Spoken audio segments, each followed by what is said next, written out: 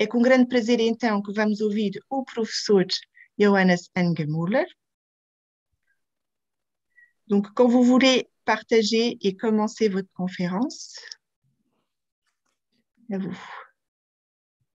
Agradeço aos organizadores por me terem convidado, a Matilde, a Isabel, Helena, Teresa, Carla, a Ruth, Inês.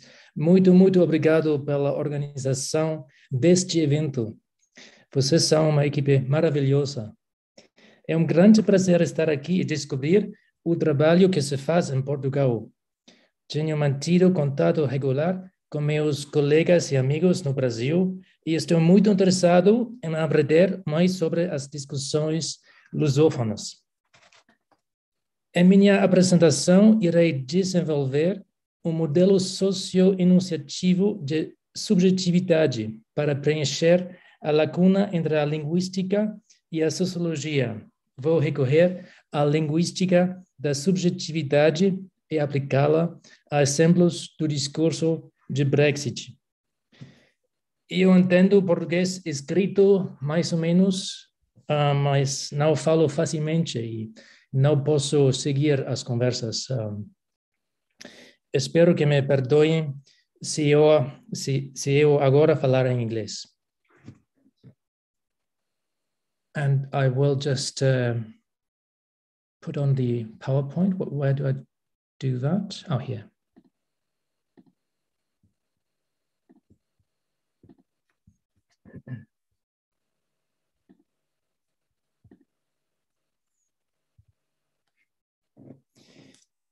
As much as figures such as Trump and Bolsonaro have been threatening democracies around the world, they have also made sure that we discourse analysts are not going to run out of work anytime soon. Indeed, there's a wealth of discursive material that raises the question of how power is exercised through um, language. Yet, how do we account for the effects of language on the social world? This is certainly a very old question, and it's raised again and again now in contemporary um, culture wars. Extreme positions, especially from the far right, are fueled by identity issues and ongoing struggles for recognition. Today's populist discourses are often driven by a desire to boost one's subject position against somebody else. So, the key problem nowadays, in these discourses at least, is how do participants achieve their subject positions? And subjectivity has both linguistic and social components. Linguists know that language defines the speaker's relationship, uh, the stance, attitude, affect toward the world.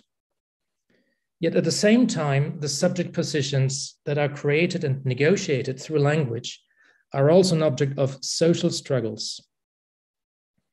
While people use language in order to make themselves visible, they also participate in social practices of producing and reproducing the social order. And as social actors, they shape, and they're also shaped by a social order where people and things are placed in certain hierarchies of value. In the following, I will discuss how political subjectivities are enacted through utterances and how utterances relate to the Brexit antagonism and to, to the social order more generally. I will cite examples from the reader forum of the Daily Mail from a year ago uh, when emotions were highest. Um, well, where's the overview here? And, um, and in the second part, I will go on to have a discussion of the linguistics of subjectivity and I will uh, discuss how to um, account for subjectivity nowadays. And I will conclude with a model that integrates uh, these various strands and, um, and approaches in a socio-enunciative model of subjectivity to account for social order as well as meaning making. Let me start with the um, example um, that I will use to um, make me, myself understood. I will have a closer look at the reader forums of the Daily Mail. The Daily Mail is the leading conservative newspaper in the UK. Um, it's a Tory uh, newspaper, which was for Brexit. Um, It is a, a very large uh, newspaper which has a serious journalistic uh, component. It also has not so serious um, contents um, about the royals, about uh, sports, and um, all kinds of tabloid stuff. So it, it's a very large and broad uh, uh, paper. And, um, and of course, it has an online version. In the online version, you have um, the um, journalistic content that is published in the paper version and um, a newspaper uh, reader forum at the end. So if you go to the end, you will see a thread of people posting messages, commenting on, um, on the article. And of course, um, this is not a, a, a representative public sphere. Uh, there's a trigger, which is the newspaper theme article. Um, and then there's all kinds of reaction, and sometimes there's more reactions, and sometimes there's um, less reaction. In the case of Brexit, uh, we can see there's all, all, always thousands of reactions. So it's a very hot topic. And um, if, if you have a look at how this uh, article was framed, EU demands that that is certain to uh, trigger all kinds of reactions right away. So um, what you see here is um, um, a long list of all kinds of posts, and um, it is quite difficult to read through. Uh, even though I must say it's um, it's entertaining because you see all kinds of um, innovative, uh, inventive, and uh, funny uh, funny language. And the problem, of course, is that this is not a coherent, uh, structured, crafted text.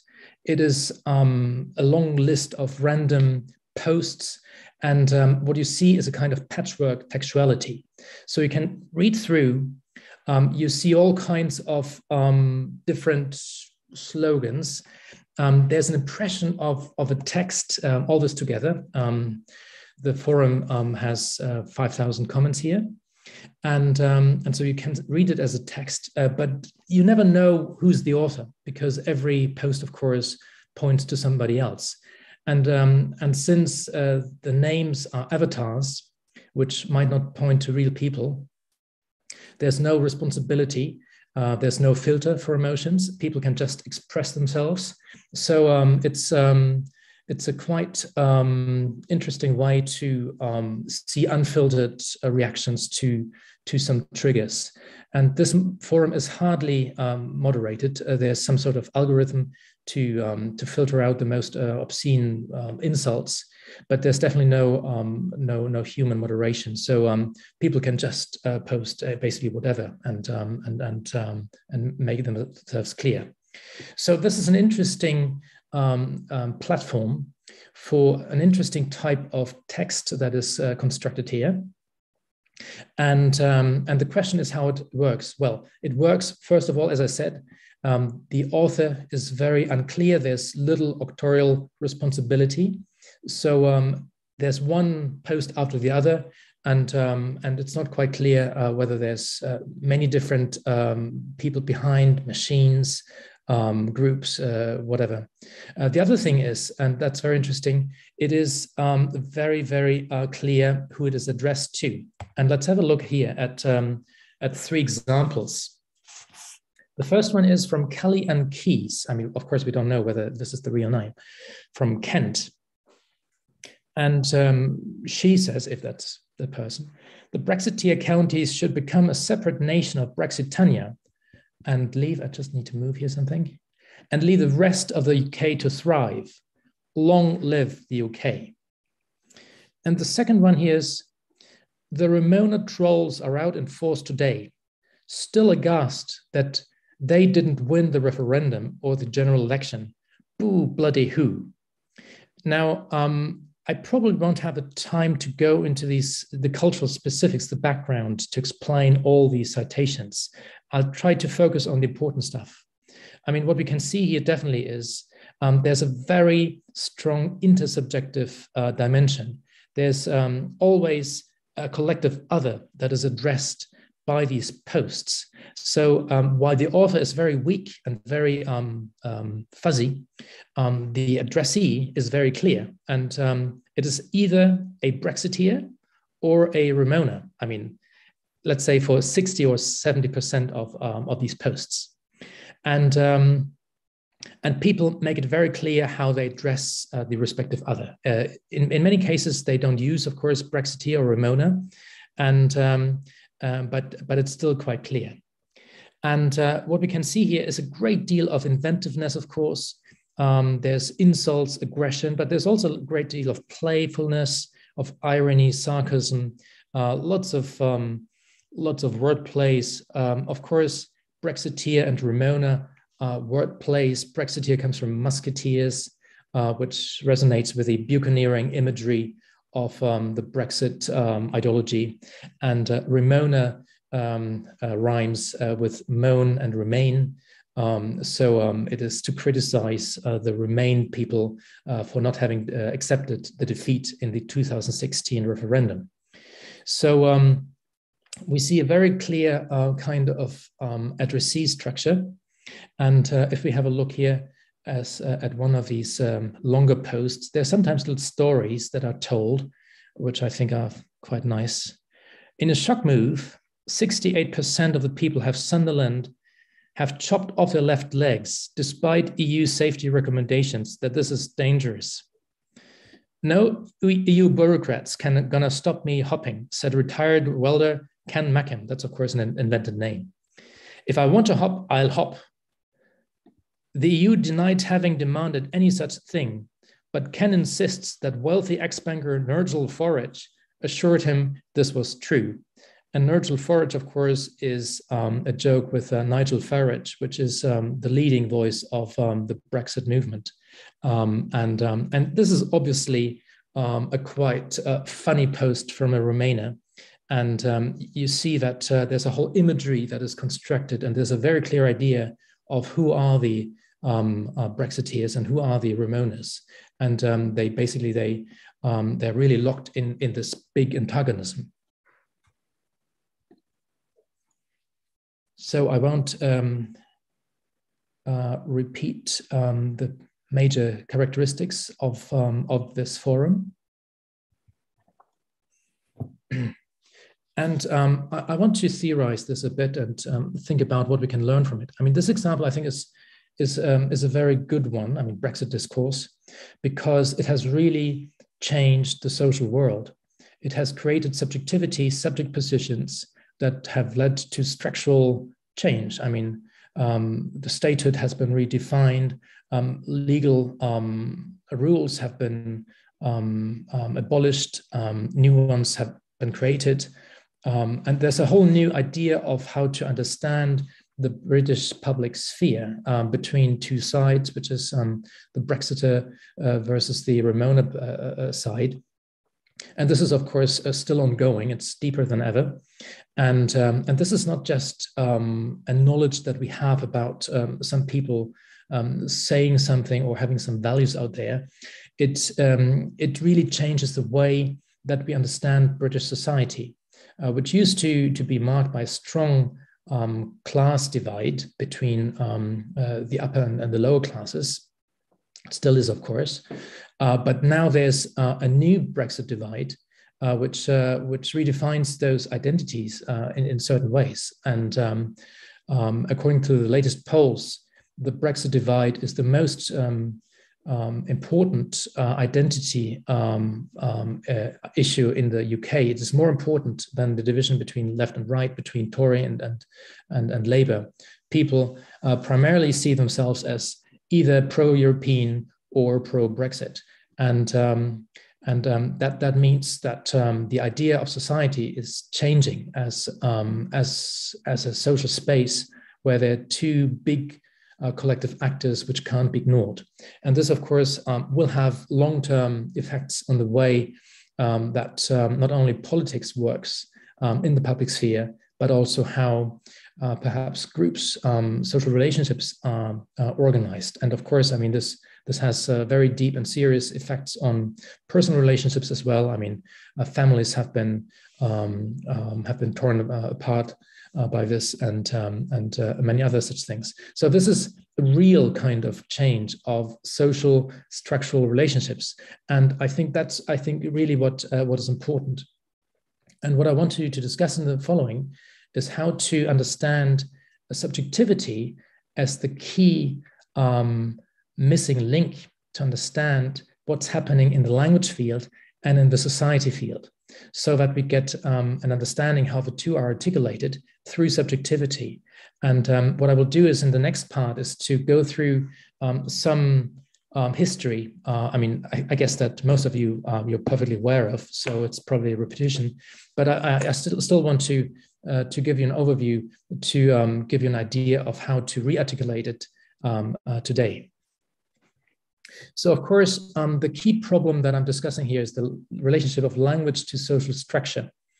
And um, that's um, the main um, central question of um, critical discourse analysis, of course.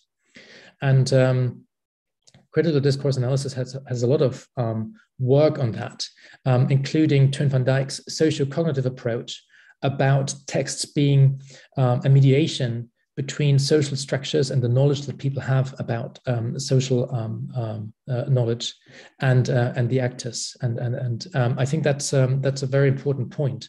Um, I will I'll come back to that. And the problem with CDA is that normally there's no real social analysis uh, about the, the social structural realities uh, which are given uh, are presented as a given um, there's a tendency in CDA to uh, side with realist sociological models um, that understand uh, power relationships, antagonisms like this one here as determining um, to um, action, to actors. And, um, and that's something that um, invites many discourse analysts not to really kind of have a closer look at how social structures are constituted in social practices and how social practices are in turn shaped by, um, by social structure, which I think is um, um, the question that we should address if we want to go a bit further.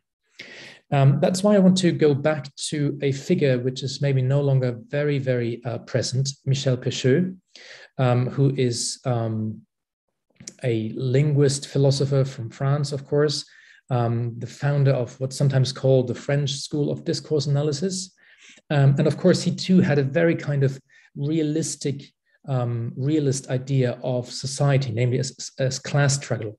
Um, he also had um, a very structuralist idea of um, um, of language, and you may wonder why why go back to Michel Pecheux, and I think for two reasons. One thing is he really looked into the relationship between utterances and social antagonisms.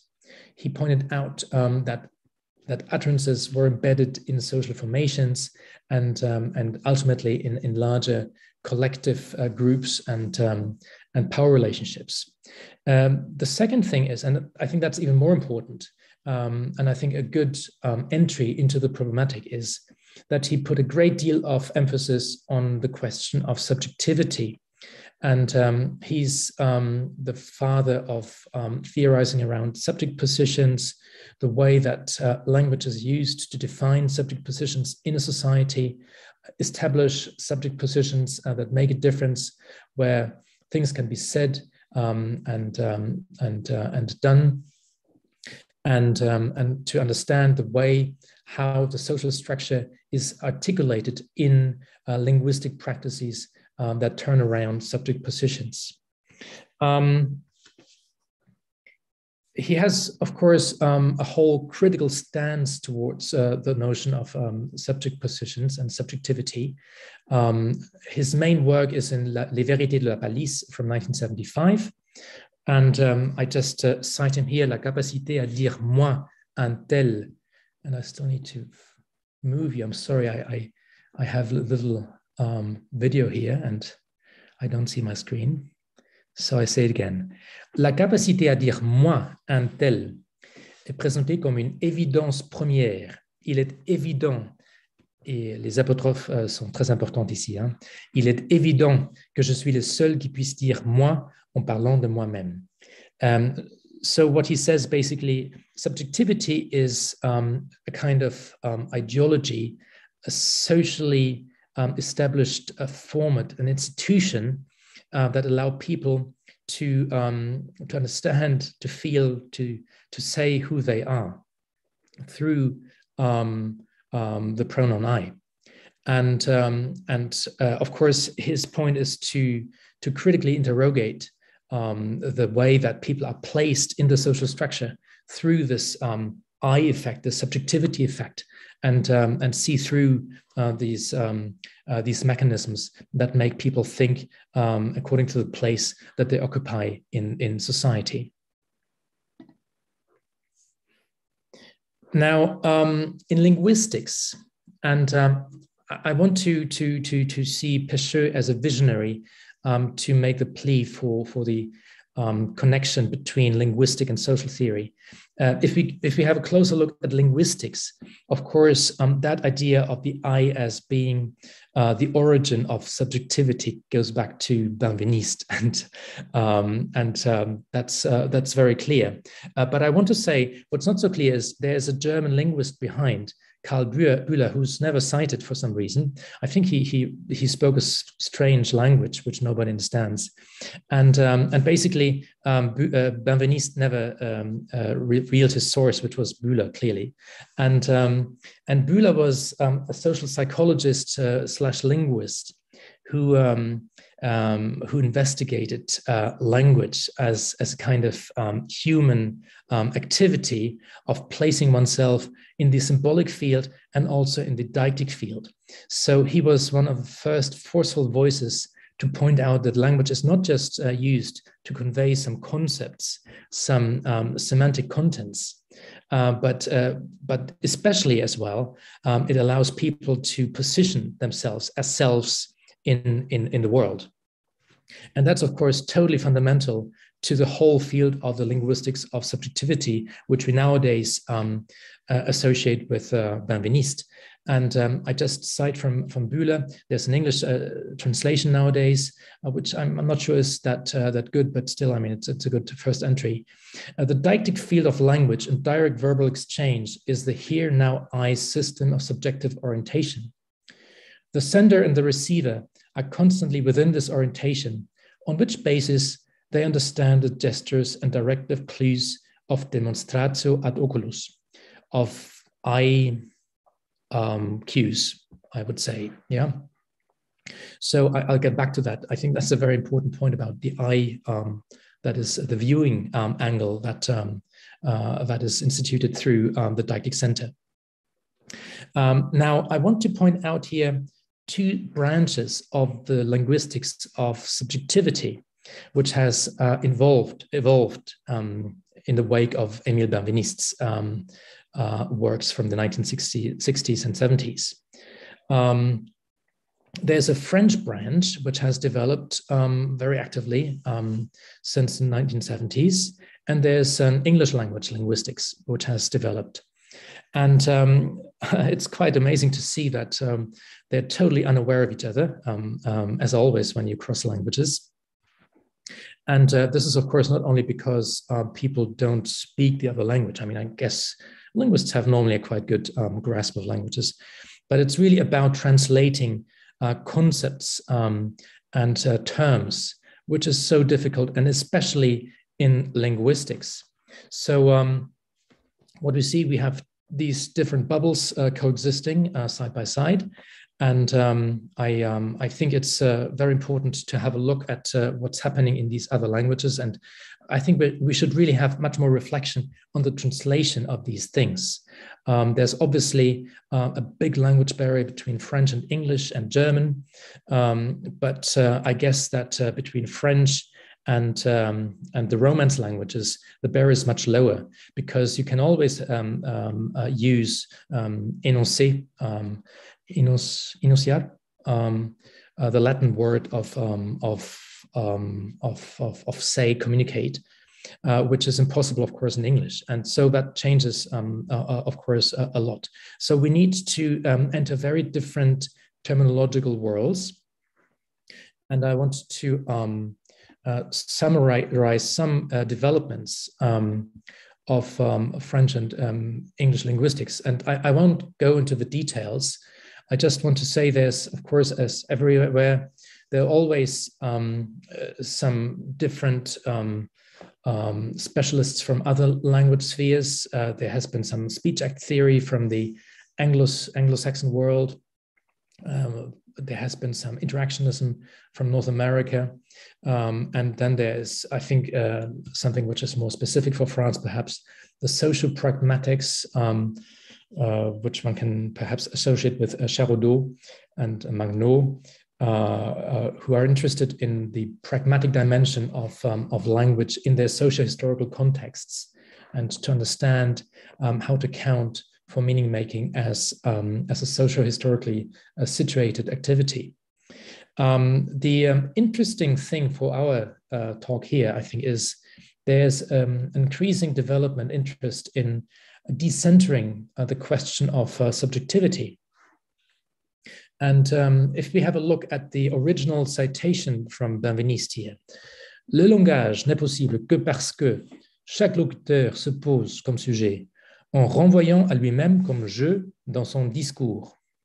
We still have an idea which is very much centered on the human as a generic source, right? As, as a source of meaning. Um, so language is seen as, um, as, as pointing back to um, um meaning making of the human um, um, subject. So we have that very um, generic kind of idea of um, subjectivity.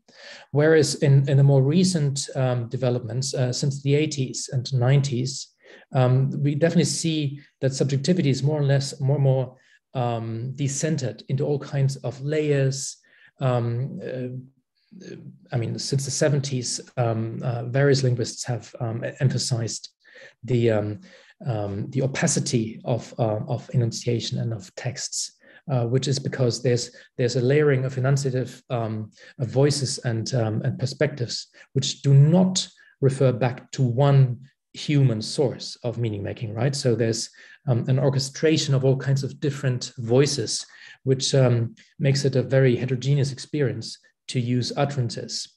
And um, and if if we have a look at Pecheux, who in no way was was very sympathetic with enunciation theory, uh, but I think at the end he definitely opened up um, and he became quite um, uh, interested in the notion of heterogeneity, which has um, become very important uh, for people like Authier, um, and uh, Ducrot. And, um, and, uh, and, and, and later on, uh, Sterpolin, the Scandinavian theory of polyphony. And, and here the idea is that whenever we um, put utterances to work we referred to different um, instances of um, of of of, um, of viewing uh, at the same time of, of saying at the same time. And these instances uh, might conflict with each other. Um, that's why um, um, uh, utterances are seen in their opacity. Um, and and it's important to allocate the different voices enunciators locutors to the right um, speakers and not to get lost in, in this kind of um, concert, um, this dialogical um, spectacle of um, different perspectives and points of view, point, points of view that are always opened up. so I think that's one development, which of course uh, refers to Mikhail Bakhtin, um, um, um, and it's an application of uh, Bakhtin's um, theory of polyphony um, to the level of the utterance in linguistics. And, um, and then if we have a look at, um, at the English language um, linguistics that has followed Emile Benveniste, or that claims Emile Benveniste, because obviously I think uh, these people never really read uh, much of, I mean, some exceptions, um, uh, but most didn't really read uh, lots of French uh, linguistics. Um, and nor did uh, the French ones, I, mean, I must say. And, um, and so um, we have um, Lyons, um, who's the kind of linguistics that is very close to, to Benveniste um, and um, coming out of, of Chomsky. there's uh, some uh, work around subjectification, the idea that uh, the more certain uh, expressions get grammat grammaticalized, um, the more subjective they become. This is the idea from Traugott. But what I want to point out here, and what's important for our purpose here, is um, there's a turn towards um, the cognitive dimension of uh, language use. And now that's, I think, a very interesting uh, development that res resonates a lot with Culioli in France, even though there hasn't been uh, much um, much overlap um, in terms of exchange, I guess. And um, I think um, the uh, Culioli school, and you've heard uh, one of the representatives yesterday, um, uh, would see many things uh, kind of very close to, um, uh, to, to, to, the ideas of enunciator and co-enunciator in Langacker, for example, who is one of the initiators of cognitive grammar. And so um, the idea is to um, model cognitive operations and to understand um, uh, the, um, the situation that is modeled uh, from the uh, linguistic material that triggers certain um, certain cognitive um, um, processes. Now that that definitely sounds very much like Culioli. I'm, I'm sure that Langacker didn't um, never heard of. Um, the other thing is, um, I will maybe go to the next slide, uh, is Chilton, who who builds on Benveniste more explicitly to to to point out that Deixis is not only at work in, in the concrete personal situation, but also metaphorically. So whenever we, um, we use utterances, um, we set a deictic center, a here, now, and I, from where uh, the deictic space is projected. And that can be, of course, um, also very a metaphoric space. This can be a social space as well. And um, so this is a fundamental um, operation um, that, uh, that is done whenever we engage in meaning making. Um, I don't think we have the time and, and that we have to um, look uh, further into these models, which can be, of course, extremely technical. But, um, but what you can see here is in Langacker, you have the C for the conceptualizer, which is uh, his expression for the locutor um, in Ducrot. And his model basically tries to, to capture cognitive uh, representations of movement uh, his example here, for example, is um, um, uh, the girl uh, runs across the street, um, which is different. Um, the movement is, is different from um, um, I run across the street, because uh, if the girl runs from there from her place to some some uh, referent point uh, across the street, the movement is different, is, is conceptualized differently than from from my point. And um, he um, he points out that these um, these movements and uh, ideas of movements are very present and important in all kinds of um, um, um, linguistic phenomena. And uh, he, he tries to represent those different ways of, of expressing movement uh, here in this in this uh, in this table. Let me get back to the example now. And um, and flag up some of the things that um, that we've heard theoretically to um, remind you that uh, of course these things are all highly relevant in the way that we can uh, analyze the um, the patchwork text of the thread in in the forum because if, if we don't really have a strong author we still have all kinds of um, linguistic cues that help us um, um, determine the different voices, the subjectivity involved, and also the deictic space and the movement and uh, that is conceptualized um, here in the context. And um, I, I, give you here these two um, posts, which I, I think are quite um, quite typical in the way that they um, mobilize certain resources here.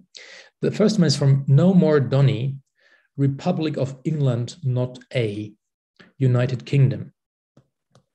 Republic of England already is a clue that this might not be a very conservative person, right? Um, so um, no more Donny says, not exactly going well, is it? Taking back control yet, Brexiteers. So again, we see the very strong intersubjective interpellation, right? Again, I mean, um, the person that is addressed is a collective imaginary other um, almost nobody here. I mean, there's some uh, direct uh, dialogue in the forum. I mean, people can can react to each other to some degree, but most of the people um, interact with that collective imaginary other, the Brexiteer or the Remoaner, um, that they have a very clear idea of, Um, and um, I'm, I'm, sure that um, that uh, that is uh, not a person that that you can can have a drink with. Um, so uh, this this collective other here is addressed through um, through Brexit here, of course. And um, and the interesting theory is uh, the polyphony, not exactly going well, is it? There's stands through well. I mean, uh, somebody saying something positive from his point of view um, about something, which refers obviously um, to um, people expecting uh, Brexit leading to um, some sunny uplands, as the Remoaners would say. So that is um, the promises of, of a liberated um, nation that uh, could could be free of the shackles of Brussels bureaucrats and and um, and keep their money.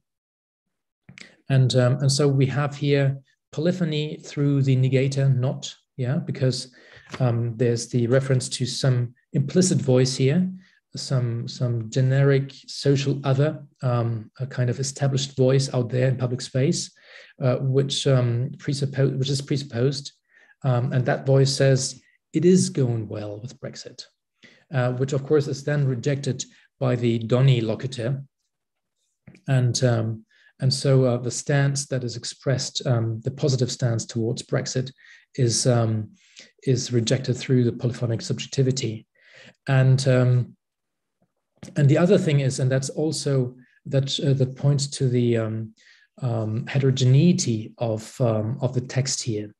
Uh, there's a citation: "Taking back control" was one of the slogans of the Brexit campaign. So um, he um, or she cites "taking back control," reframes it, and um, kind of turns it against the Brexiteers. And and all of that with a strong idea of movement, right? Not exactly going well, there's a clear idea of, of a movement in, in, in the cognitive space here, as well as um, yet, um, I mean, basically, it doesn't really show um, the, the trajectory of that movement uh, in Langacker's terms, but um, but you can see that um, uh, what uh, what what uh, uh, taking back control uh, now and here refers to some implicit movement, a process that has led to the current situation. And um, and um, I think the whole idea of, of movement process is very important for Brexit discourse. It's about commenting on, on an idea of, of a social of social change that people have um, with the antagonism of Brexiteer and Remoaner, And um, and it is of course key to um, um, to frame the, the movement in the right way. So just to give you uh, an example of a Brexiteer voice here, uh, a little below, stay out of our business. We left, remember. And this is, of course, a very strongly um, deictic, um, organized space.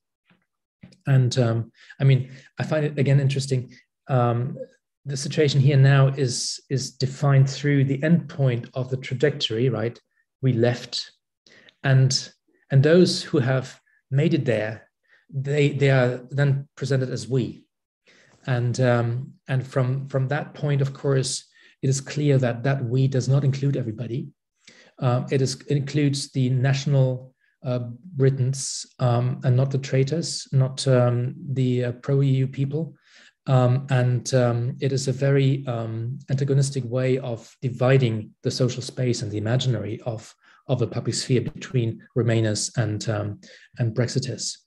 And, um, and again, of course, uh, we see here with very few resources, people are able to participate in that patchwork text of the forum, uh, which is very much centered on these very towering um, subject positions of the Brexiteer and the Remoaner, who are always interpellated through these little um, posts and messages uh, uh, across um, the, the, thread. And that's how there's um, some unity of, of the text and that's how people can can have some some some meaningful um, intervention here because um, they're kind of bound by that very strong, um, strongly established antagonism, which is not necessarily present, uh, like it is flagged up here through um, the address, but it's um, it's definitely, um, I mean, in the minds of everybody here. So it is not possible to ignore as as a social reality um, uh, embedding the text.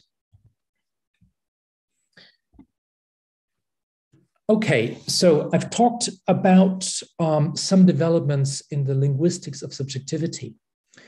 I will say about a few words about um, the sociological discussion about um, subjectivity, agency, actors, and social structures, just to give you um, um, a quick idea how uh, another disciplinary debate um, can and should be articulated with our linguistic debate. Um, and uh, I, I, I, say that because um, in Pecheux and also in CDA, there's normally the idea of a very strong um, external, um, real um, structure that determines linguistic and social practice. And, and I think it's important to, to see the practice turn in the social sciences uh, that, that has been operated over the last few decades, where the idea of, I mean, the overwhelming majority of, of social scientists is to account for social structures in terms of practices, to understand how many people work, interact together, um, bringing forth structures. Um, in many cases, of course, they're not intended. It's not a conscious um, project of, of anybody to um, um, to uh, produce um, inequalities of wealth, of power. Uh, but at the end of the day, many people will have done certain things so that um, only a few people can really um, uh, influence uh, many others. And what I want to say is to um, to just give you um, some idea here about uh, the different dimensions and levels that we could uh, address. There is the level of the actor, um, and there's uh, the level of structure. And, um, and the question is how actors um, are constituted, um, named, uh, made um, relevant as persons in, in the social um, space. and, and they will interact with many other actors over time. Um, sometimes um, um, articulate uh, alliances, connections, um, in informations. Um, I mean, the Brexit camp will be articulated with other political positions, for example, if we follow um, the Laclau Mouffe uh, model. And so there will be a tendency to um, to, to create order, right, uh, along a certain antagonism, which nowadays in the UK is between pro and anti-Brexit. And, um, and over time, there's more and more elements, um, people, ideas, um, resources uh, mobilized by that antagonism and, um, and it will um, structure uh, more and more areas of the social space. So that's the idea of, um, of, um, of, of a social space of, of, um, of, of, practices. And I saw there was a hands up. Is um, there question? I'm very happy to, to take your question now. Was it Elsa? No question? Okay. Um, let me um, kind of wrap it up now with a model that I'd like to uh, present here.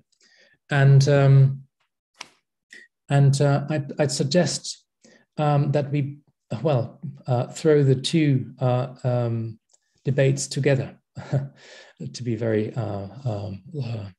uh, sloppy in my, my words. Um, but the point is um, we can we can articulate them through the notion of subjectivity, because in a way what happens is in the linguistic um, space of meaning making, um, there's um, different floors, different dimensions of meaning making. There, there are lots of things that go on on on subconscious levels, and um, and linguists are so good to to to to discover um, the many voices, mechanisms, um, um, uh, processes, operations uh, that usually uh, happen at lightning speed. This is something that that happens totally spontaneously for people who have the competence, and um, and as we read along um, the forum, um, there's a certain reduction of that complexity. And if we apply the uh, model of uh, linguistic polyphony, um, we can see here three floors. Uh, on the first floor, uh, readers deal with all kinds of points of view, uh, coming from all kinds of sides, and it's not immediately clear um, how to attribute the different things that are said, the contents, the propositional contents, to different positions in discourse, right? That's precisely what the markers of polyphony um, will tell us about. So um, uh, the second floor will be to, um, to sort um, the different points of views and perspectives so that they're all kind of um, grouped together under the locutor and the many other instances that we understand um, will uh, represent those uh, perspectives. And on the last level, um, the many um, um locutors and allocutors, they're grouped together again under even bigger uh, subject positions that, um, that encompass all kinds of different voices that we have immediately forgotten. So um, when we read, we, uh, we immediately forget the micro um, positioning, right? That that takes place on on the level of um, of the utterance. Uh, what we we take out of the text is what certain subject positions are supposed to say or what uh, they're supposed to be, and this is a process of reduction, and um, and this is something that um, that basically determines what um, different participants of the discourse are supposed to be responsible for. And this is, of course, much less complex than what happens on the most um, minute level of um, um, enunciative operations, right? And so this is the highest level here in, in my model of uh, meaning making, which of course relates to cognitive context, and uh, we can place it uh, within the deictic uh, world uh, from where um, things make sense and um, we can determine the movements, the kind of developments in, in that in that deictic space. But this is all about how to count for meaning making. And it is not really about for how to count the creation of social order, which is a different space. And um, and the different space, um, as I as I said, um, has two um, kind of um, uh, problems to solve. On the one hand, um, to achieve actorhood, and this is by giving names to, to certain people or instances that, that are seen as uh, able to act in, in the social world. I mean, in, in our world, it's mostly humans, of course. Um, and, um, and they are subject to certain structures, which they in turn um, bring forth. So um, this is um, something that um, uh, that needs actors and people who who are presented as subjects. If they're not uh, part of a meaning making world uh, where it's clear who says what and thinks what and says what and does what, um, the actors wouldn't exist. So, subjectivity, social enunciative subjectivity, is key to understand um, these processes in both cases, right? And and they're of course uh, linked. If if if we have a great antagonism, which um, which is established over years, this will uh, of course affect um, meaning making to some degree. So it's not something which is outside. It is linked. It is articulated, and um, the difference to um, the Halliday model, which um, which is of course the background in, in CDA uh, in many cases. I mean, at least Fairclough and uh, most others. Uh, for Fairclough, um, society is part of a cognitive context. It's a resource that we need to make sense of texts but it's not uh, something that we need to explain in terms of how order is, um, is achieved.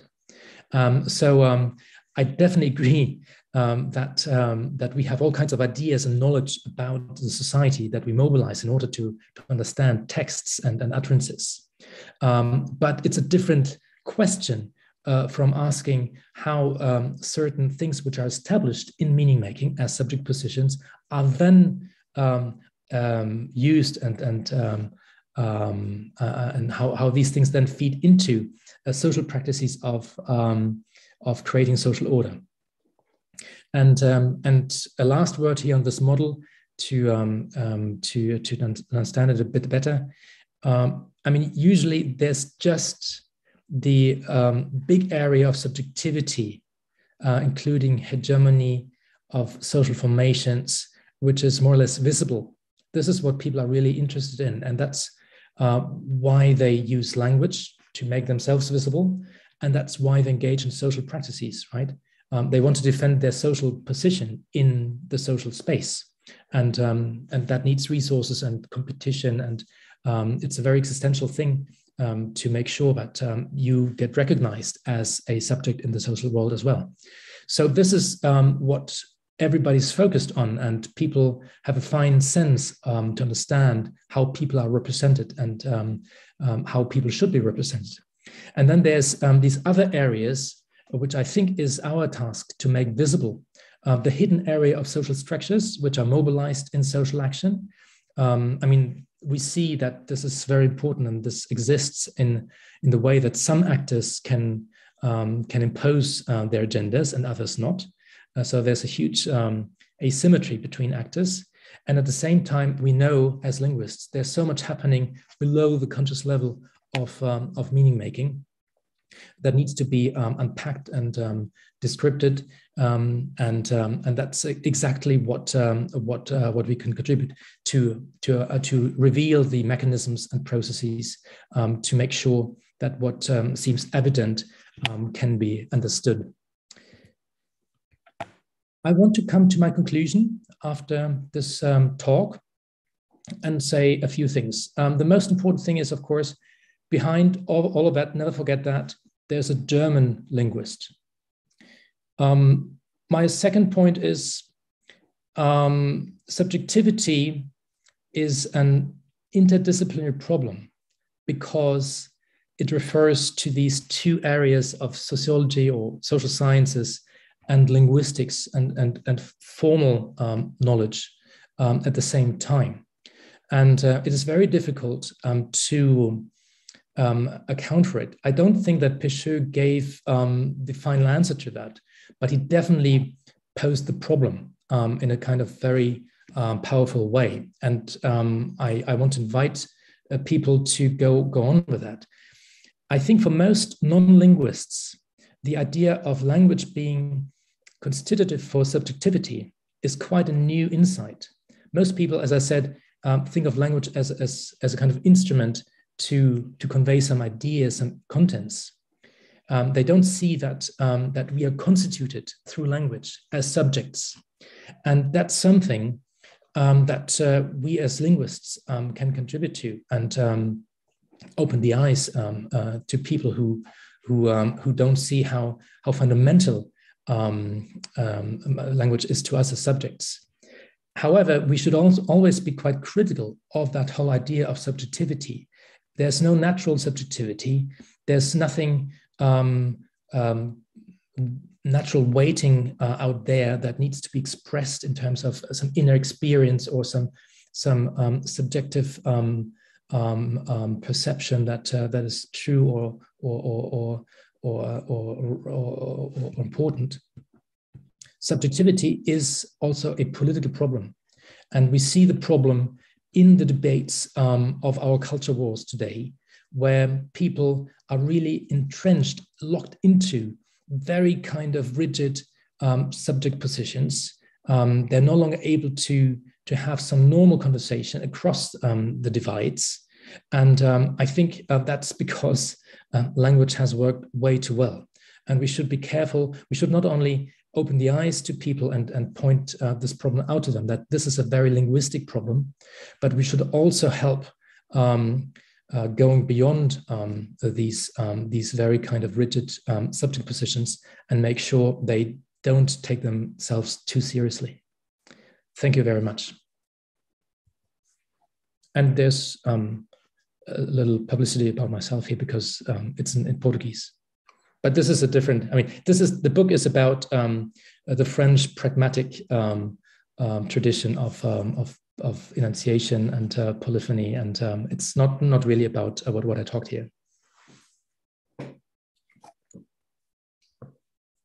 Thank you very much, uh, Professor uh, Johannes Angermüller. Now we have time to discuss, and I think we can make the discussion in Portuguese, French, or English. Nous avons maintenant le temps donc de, bah, de, poser quelques questions, de discuter à propos de cette riche conférence, que ce soit en français, en português ou en anglais. Temos agora tempo para, para colocar perguntas e discutir e agradecer uma vez mais esta, esta conferência extremamente estimulante e rica do professor Johanna Sangermuller.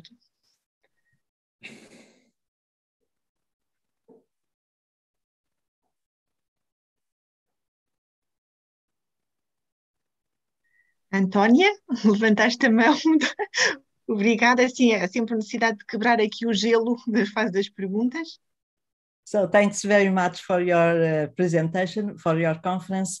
If you don't mind, perhaps I would uh, speak in French. It's easier for me. No problem, I think. so, um, alors, merci encore une fois de votre présentation.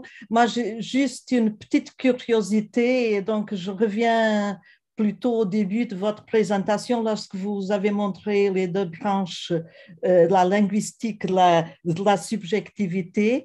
Vous commencez avec Bühler, tout à fait d'accord, et enfin l'importance de reprendre des auteurs plutôt oubliés. Mais ma question, et puis après, avec les auteurs que vous montrez là, tout à fait d'accord, pas de question là-dessus. Ma seule question, c'est de savoir pourquoi, une fois que vous parlez de towards polyphonic, polyphonic subjectivities, pourquoi est-ce que vous n'intégrez pas les contributions de Voloshinov et de Yarubinsky euh, Parole dialogale et Voloshinov, en fait, ce sont, c'est Voloshinov qui introduit une concession euh, carrément sociale du langage. En mhm. fait, avec Bonveniste, nous avons une approche plutôt phénoménologique, enfin, euh, c'est moi celui qui parle, qui se pose en tant que tel, mais Voloshinov, c'est le langage, c'est au départ carrément social. Et, là, à la fin, vous, vous, avez dit quelque chose pareil, euh, juste à la fin, dans le sens que nous, les humains, on se construit, on se, euh, on se fait à travers le langage, plutôt ça. Alors, moi, c'est juste une petite question enfin, pourquoi vous, vous, oubliez là les auteurs qui sont, à vrai dire, les fondateurs de l'approche dialogique et polyphonique du langage et qui, qui, qui, ont une, une conception dès le départ social du langage. Parce que moi aussi, ce que je me dis, c'est dans tout ça, dans les rapports langage-social, il faut aussi avoir un point de vue sur le langage. Enfin, et Volonchinov, là, il dit c'est dès le départ, c'est le social. Et c'est ça qui nous. Enfin, juste une petite curiosité, merci en tout cas. Yeah, yeah. I mean, I mean, it's it's definitely. I mean, a, a problem to um to have this kind of snapshot here. Um, I mean, there's definitely many more traditions. Um, I mean, I'm not, not sure one can perhaps talk about a Russian tradition. I think it's very semiotic, I guess, if there's a tradition that um, that's also very much influenced by Saussure. Um, and um, I, I, would think of the whole kind of um, um, development from uh, from the Bakhtin Voloshinov um, circle in the 20s up to to Lotman, who who have worked on questions of, of cultural meaning making um, and um, the, the way that um, the cultural world is, um, is organized by certain semiotic resources. And, um, and of course, um, uh, we could, we could list here many other traditions. And I just put in these two to remind people it's not just one discussion. I mean, there's other discussions there's also the German discussion. Um, I'm, I'm, sure if I if I knew about the Portuguese discussion, uh, I know a bit about the Brazilian discussion. It's a very um, um, big discourse with lots of, voices and contributions, which um, uh, have been totally crucial. And um, and so um, I hope this totally goes in along your your point. Thanks.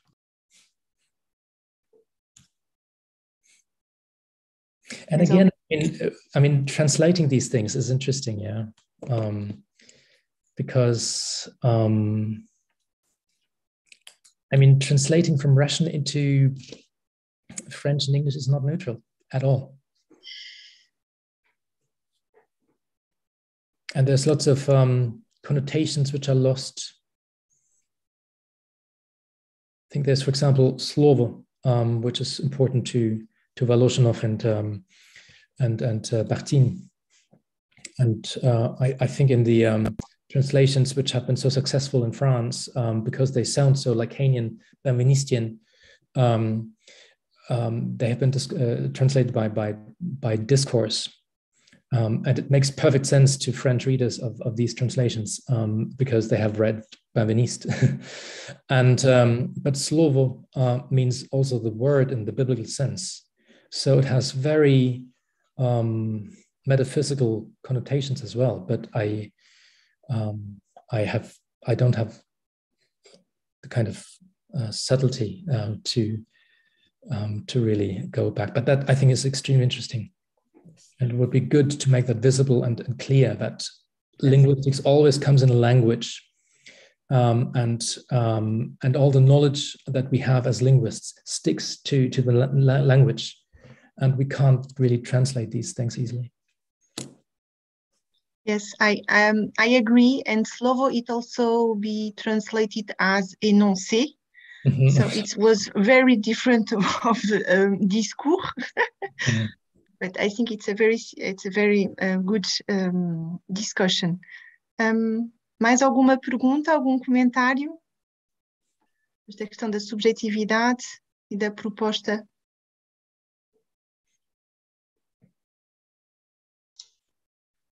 I'd like to Sim, boa, boa tarde. Boa tarde. Boa tarde, José Lima. Can I, can I say, uh, speak, speaking in English, um, uh, congratulations on your, on your, on your communication. Uh, I, I, I have uh, been uh, at the German, uh, Germ, um, in the German department uh, of our university, Faculdade de Letras. And um, I knew about uh, Karl Bühler uh, from a long time. Um, and it's, it's, it's good to know that, uh, that people are now trying to, uh, how do you say, uh, revisit him. Re revisit him. Um, I think that um, there is, however, an, another person, another linguist, who knew about, sure, he knew about Karl Bühler, but I don't think uh, he, he, wrote uh, anything about, uh, and I'm not sure, which is Roman Jakobson. Mm-hmm. Uh, Jakobson uh, knew a lot, a lot of things about Karl Bühler, and it's, it's nice to know that uh, there are people that there is still uh, a lot of things about about uh, history of linguistics that we don't uh, don't we have forgotten in a way. But uh, so I, I just uh, would like to to to thank you for for our, for for your presentation. And uh, okay, it's important to to to study this subject of subjectivity Another another thing, um, there is um, another linguist, um, Gabriele Diewald, who mm. spoke, uh, wrote about Karl Bühler and the, the, the idea of origo. Mm-hmm, yeah, they, they take it. They, they, they exist, right? Uh, in his in her works, and uh, it's just another another hint. Yes. Yeah, Thank yeah. you. Thank you. Yeah, yeah. I think this is um, all quite um, important um, to be aware of these backgrounds. I mean, I don't want to kind of participate in erecting canonical figures here, but I, I I'm I'm more and more surprised to see that there's so many kind of parallel discussions um, across languages and um, and uh, and and sometimes these figures help us um, get together. Yeah, I see another person here, Sarah. Yes, Sarah. Sarah. Oh, merci beaucoup, merci beaucoup pour cette communication. Je, je voulais intervenir sur deux points. D'abord, euh, vous avez fait, je peux parler en français, je crois. Quelqu'un d'autre l'a fait, donc j'essaye ça. C'est plus facile pour moi. Je m'en excuse. Euh, vous avez parlé de, de, de, la relation éventuelle entre la linguistique cognitive et Culioli et en faisant référence à une conférence que j'ai faite hier, sur, quoi, où je, qui n'avait rien à voir avec Culioli d'ailleurs, mais bon, en tant que culiolienne quand même. Et, je voulais quand même souligner la, grande opposition entre les, deux, démarches, euh, opposition qui est basée, euh, alors je pense que Langacker n'a jamais effectivement lu et cité Culioli, l'a entendu, j'ai été présente dans des colloques où ils étaient tous les deux, donc ils se sont entendus quand même, mais euh, bien sûr, connaissait Langacker, mais s'y intéressait pas énormément, et c'est euh, le, fait de, mettre le, spatial et le concret au départ de tout, qui va pouvoir donner de l'abstraction par métaphorisation. Euh, mais au départ de tout, euh, l'action, hein, l'action sur autrui, sur la, pensée, mais et, donc euh, ne prendrait jamais, et, c'est cette action qui va se matérialiser dans les gestes, pardon, excusez-moi, c'est les pompiers passent. hein, je peux rien faire, je peux pas faire taire les pompiers. Non, mais entre-temps, je peux demander, Johannes, vous pouvez en fait cesser de votre présentation, comme ça on, arrive à se voir tous et toutes. Pardon. S'il vous plaît.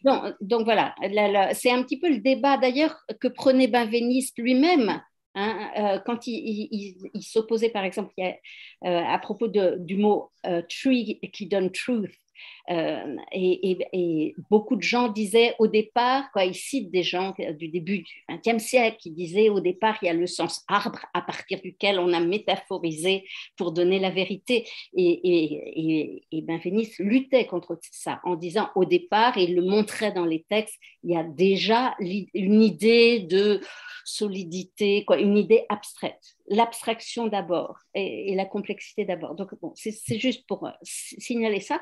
Mais, mais plus proche de, votre exposé et de, ce qui était vraiment euh, ce qui, était très beau dans ce que vous avez montré, la façon dont euh, dans, ces, forums se construisent ce que vous avez appelé, la, je crois, la une subjectivité dans sa dimension sociale, y compris moi, ce qui me semble quand même, c'est que ce qui se construit, c'est pas simplement la subjectivité, c'est quelque chose de moins beau, euh, qui est la division sociale, euh, voire la haine. Euh, et, d'ailleurs, une des choses, vous avez très joliment montré la polyphonie de ces, échanges, mais ce qui est cité, c'est des slogans.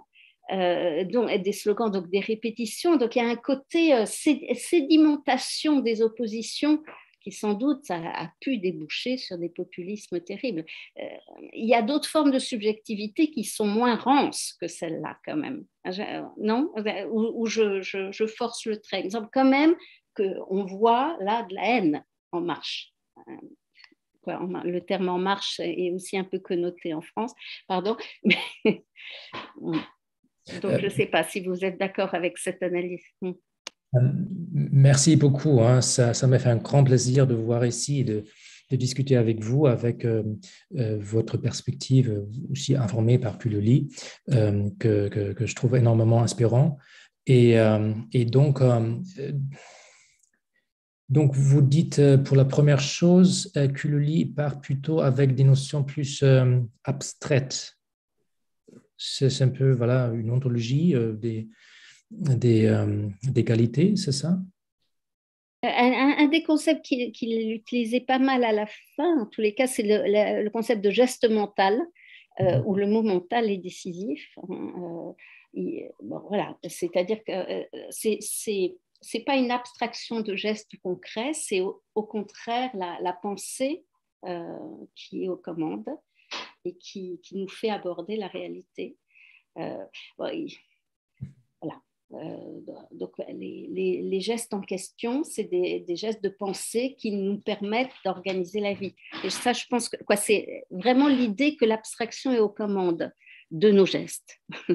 et non, euh, au lieu que ça soit, euh, au lieu, au lieu qu'il y ait le concret d'abord, à partir duquel on construit, on construit la pensée, c'est l'inverse. je pense. Mais voilà, il faudrait des exemples plus précis j'ai n'ai pas le temps, mais je crois que vraiment il y a un débat entre les deux, deux façons de prendre le cognitif. Euh, vous avez raison, les deux sont, dans le, euh, sont sur le terrain de bataille de la cognition, mais avec deux points de vue différents, je pense. Donc, il y a une autre conception qui part de, de l'expérience plus concrète, mm. euh, de l'embodiment, euh, de, comment faire embodiment en mm. français. Je ne sais pas. et, et, et, puis, c'est quelque chose qui, qui, qui, serait inconnu à, Culoli. Hein. De toute façon, en fait,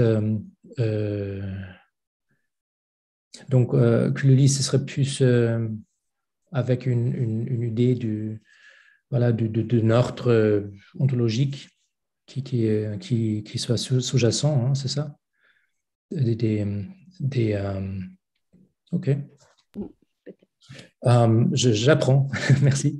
et l'autre chose sur, sur la haine qui s'exprime, ben, en fait, c'est la grande question. Pourquoi ces, ces gens-là, ils se, ils se haïssent hein?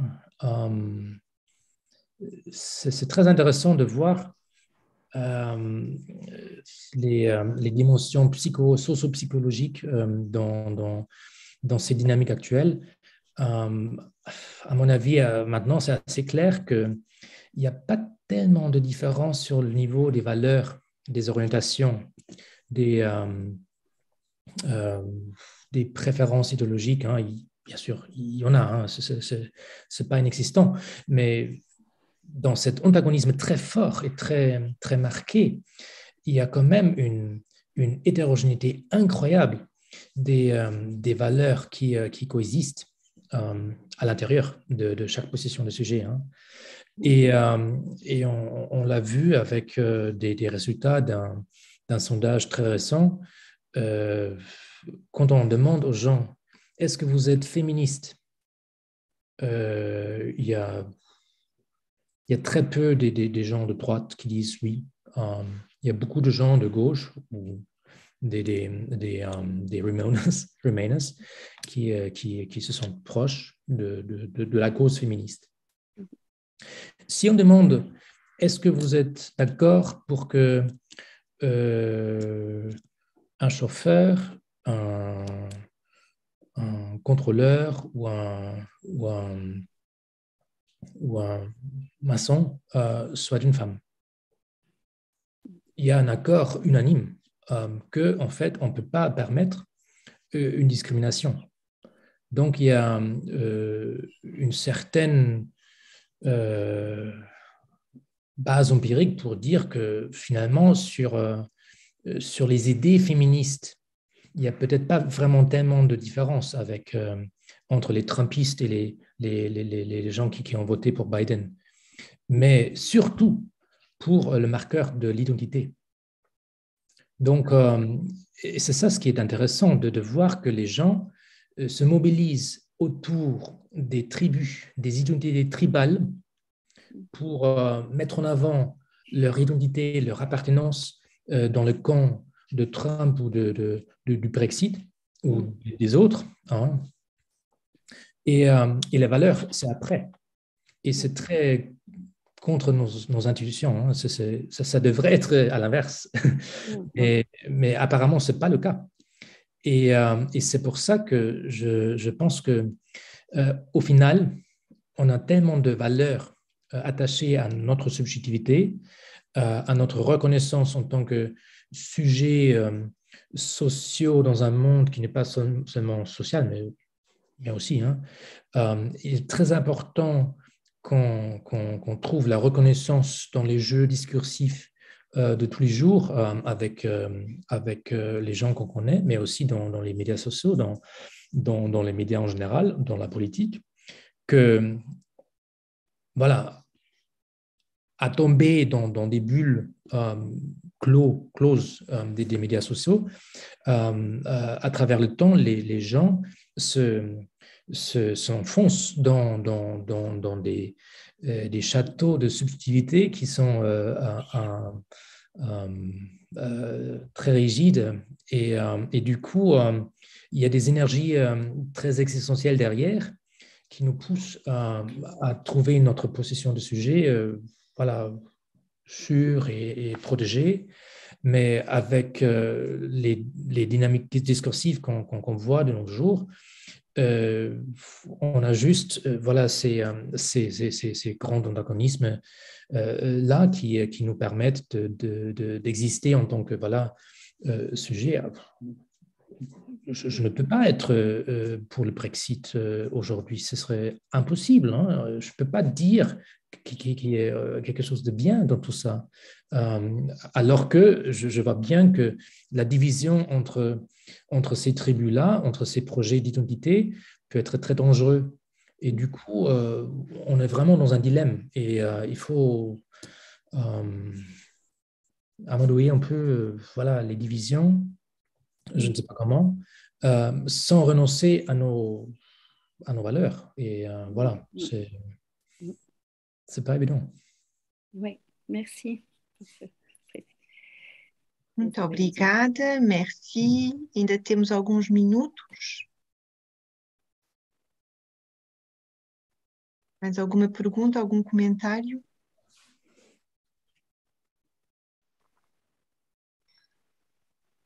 Moi, j'ai une petite curiosité, en fait. C'est par rapport à la thématique de la subjectivité.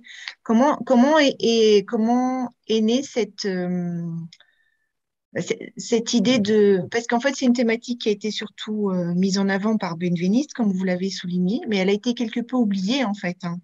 Et, puis, et là, vous la remettez de nouveau en avant avec cette approche sociale. Et ma question, c'est d'où est venue donc euh, cette curiosité et cette volonté de, de, la discuter et de, la creuser un peu plus en croisant les différentes approches dont vous avez très bien montré? Vous, voulez dire dans mon travail ou en général Oui, oui, oui, dans, oui, oui, dans votre travail. Euh, je pense que voilà, j'ai senti que voilà, il y a, il y a une discussion euh, en sciences sociales qui, euh, qui, qui m'a toujours été très chère autour du tournant linguistique, qui est quelque chose qui, n'a aucun sens, bien sûr, en linguistique, parce que qu'est-ce que serait le, tournant linguistique en linguistique Et du coup, j'ai essayé de, de, de, comprendre ce qui se passe avec, avec ces folies de nos jours. Hein. les gens font des choses qui sont rationnelles, qui, qui, créent des des relations de haine sans, que ce soit dans leurs intérêts. Euh, euh, après, on se, rend compte que c'est peut-être pas seulement euh, de nos jours, mais, peut-être surtout. Et, et, je suis revenu à cette notion que, j'avais regardée dans le livre que, je montrais il y a pas mal d'années maintenant. et je suis revenu là-dessus parce que je serais très critique de voir une sorte de, déterminisme social ici à, l'œuvre, euh, qu'on voit parfois même avec les, sociologues bien réfléchis. Hein. Il y a, je pense qu'il y, a une limite, par exemple, à la, sociologie bourdieusienne que, j'admire beaucoup, euh, en ce que, voilà, il y a, il y a il y, a, un déterminisme parfois euh, qui, est projeté sur ce que font, ce que, ce, que préfèrent, ce qu'ils ce qu'ils veulent les acteurs, qui, me semble un peu exagéré. Et je pense que si on regarde euh, la subjectivité comme un problème à la fois linguistique et social, on, on, voit que voilà, c'est précisément un problème de, de voir la transparence dans les échanges linguistiques. C'est quelque chose que, les sociologues euh, ont tendance à, ignorer, hein, que le langage euh, serait euh, pas, une fenêtre, mais plutôt voilà, une, surface très opaque. Hein. Et, et donc, avec toutes ces discussions, surtout avec, avec le Brexit et, et les soi-disant populistes qui euh, qui ont ressort des choses euh, depuis quelques années qui, qui, me semblent absolument euh, je me suis dit, il y a, vraiment quelque chose au niveau de la subjectivité qui, qui serait à creuser. Et donc, je pense que l'autre chose aussi, il y a une dimension psychologique ou affective hein, qui, qui, est aussi dedans, psychanalytique, qui, est à mon avis très importante. Euh, euh, et, donc, euh, je pense que c'est un carrefour de connaissances, de, problématiques qu'il faut, faut regarder de près. Donc, j'espère que vous voyez que c'est une invitation à, à l'étude. oui. voilà. Merci beaucoup. Muito obrigada. Um, acho que estamos muito agradecidas e muito agradecidos por, por este momento. Uh, temos aqui um comentário da Elsa Martins qui diz que está a agradecer que aprendeu muito. Donc, elle a beaucoup appris. Donc, je pense que c'est pendant ces, ces trois jours uh, qui ont été très riches, uh, extrêmement e agradecimentos à comissão. Quer dizer, este é interessante, quer dizer que as próprias pessoas já estão a indicar que a sessão tem de encerrar e temos que dar por esta conferência plenária encerrada e iniciar então o encerramento.